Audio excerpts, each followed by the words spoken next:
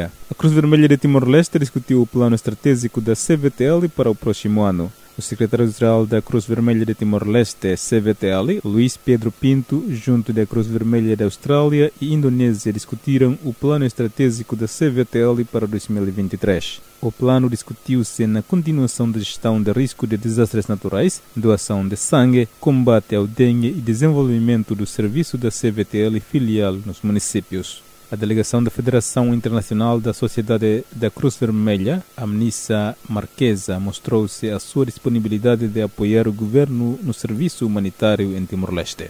Entretanto, o encontro realizou-se no edifício da CVT ali em Formosa, Dili, e será terminado a 26 de novembro.